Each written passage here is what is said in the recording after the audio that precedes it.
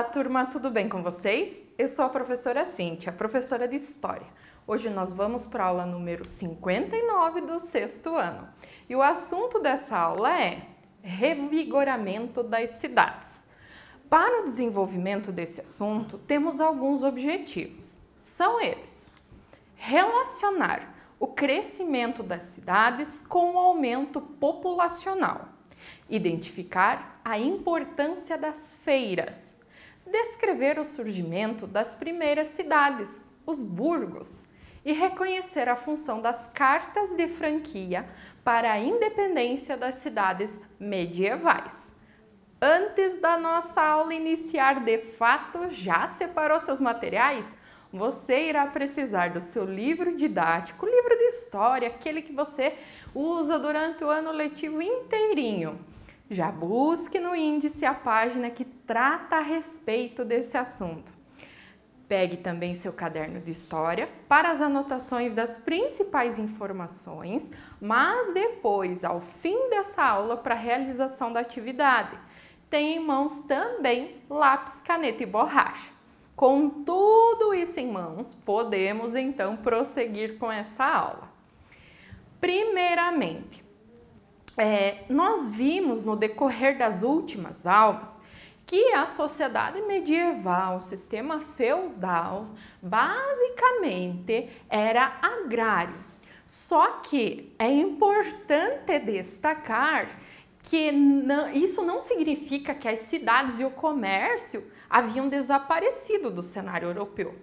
Até em livros mais antigos, livros didáticos, eles fala em renascimento é, urbano e renascimento comercial, como se fosse algo que havia morrido e agora retornado, mas não é o caso.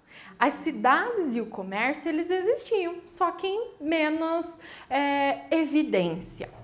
Nos primeiros séculos medievais, inclusive, as cidades elas acabaram se contraindo, ficando bem pequenas, e o comércio acabou reduzindo o seu volume e, consequentemente, a sua importância. Mas, volta a salientar, nenhum deles deixou de existir, apenas deixaram de ter importância.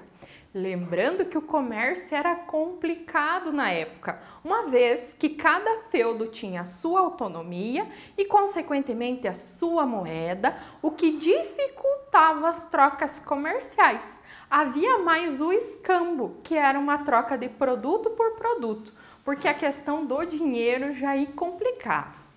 É a partir do século XI as cidades e o comércio na Europa é que começaram a ter uma grande expansão. Mas vamos começar vendo a questão das cidades que acompanha de certa forma o comércio, para depois entender um pouquinho mais as especificidades do crescimento, aliás, do revigoramento comercial. Com as inovações das técnicas ali dentro da agricultura, muitas pessoas acabam mudando, se mudando do campo para as cidades. Por quê? Com essas inovações, reduz a necessidade de mão de obra dentro da produção agrícola.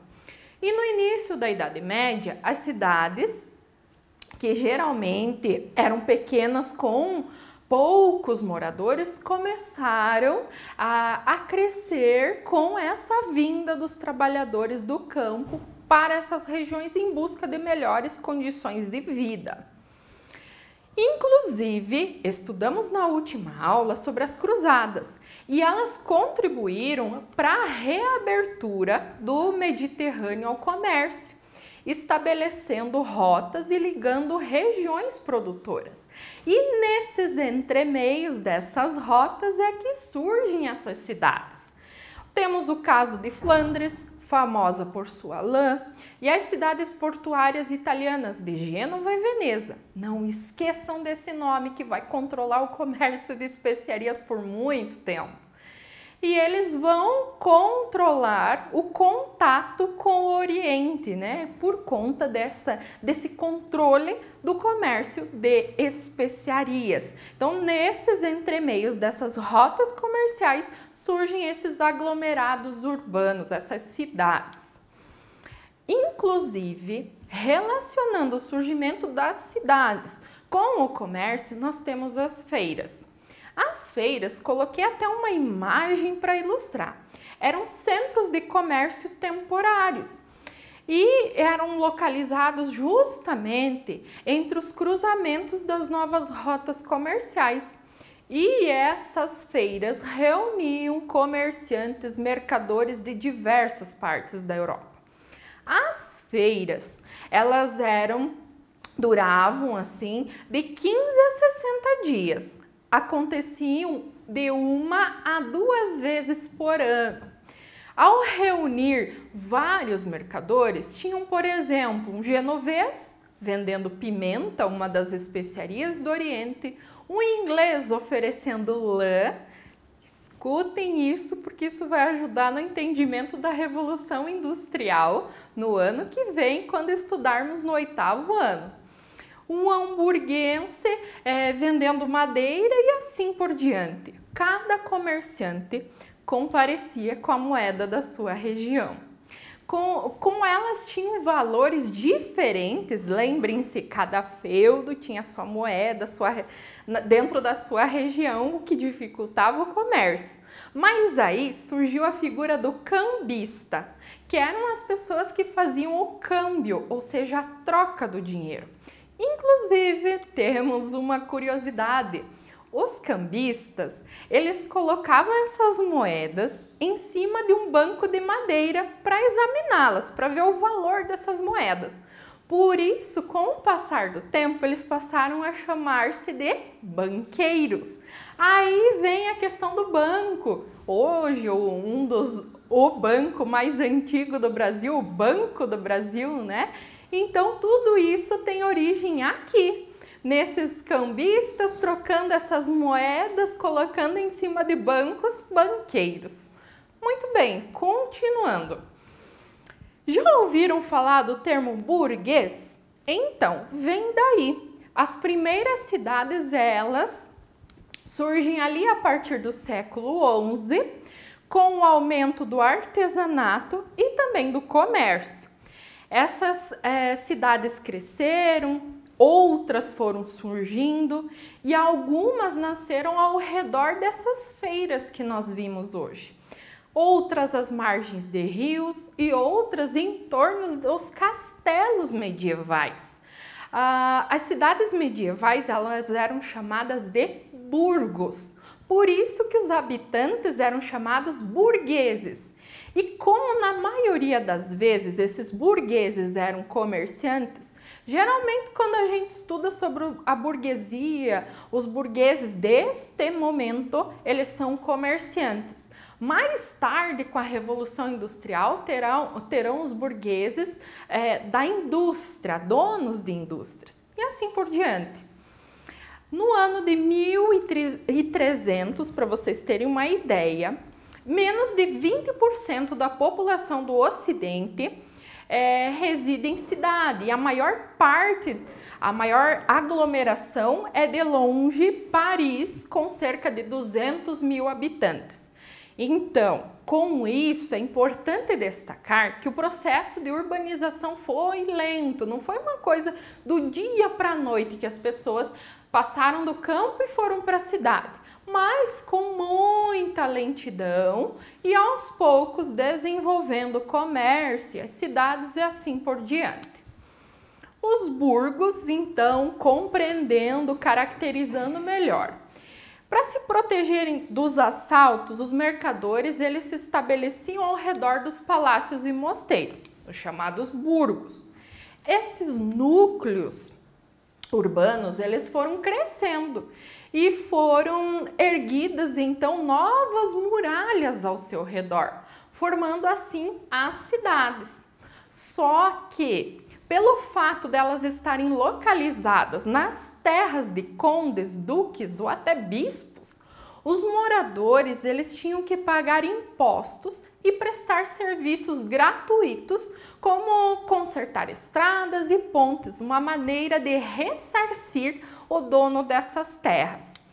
A luta pela independência, ela ficou conhecida como movimento comunal. E isso sim, eles lutaram pelo quê? Pelo fim da cobrança de impostos, pela questão da autoridade em relação a esse nobre ou a esse clérigo. Os habitantes das cidades eles lutaram de várias maneiras para conquistar sua autonomia. Artesãos e comerciantes que eram os habitantes desses burgos, dessas cidades, eles faziam rebeliões contra o aumento dos impostos e as autoridades, mas também agiam de outras formas, como por meio da aquisição das cartas de franquia. E esses documentos, eles asseguravam às cidades direitos como cobrar impostos e montar milícias. Milícias seriam basicamente um exército para proteger essa cidade. Então, ao adquirir, comprar essa carta de franquia, eles conquistavam o direito de administrar as principais ações dentro da cidade. Com a carta de franquia em mãos, eles acabavam elegendo representantes que geralmente eram comerciantes ou banqueiros com maior poder aquisitivo. E nessa época surge um ditado popular que dizia o seguinte: o ar da cidade torna o homem livre. Então, nesse aspecto, tinha que ter um líder e esse líder é, iria gerenciar essa cidade é, de maneira a criar regras que melhorasse as condições de todos, sem ter que respeitar, pagar impostos, desculpe, a outra autoridade fora dessa relação que se estabelecia dentro da cidade, dentro do burgo. Na próxima aula continuaremos a estudar sobre esse assunto, mas iremos destacar mais as questões é, comerciais. Uh, estudaremos sobre as corporações, corporação de ofício, como funcionava e assim por diante. Nesse momento, vocês devem realizar a atividade referente a esse assunto. Essa atividade é pensada para vocês refletirem sobre o assunto desta aula e fixarem algumas informações que serão é, de certa maneira, importantes para a compreensão de próximos assuntos. Bons estudos a todos, até a próxima aula, um abraço e tchau!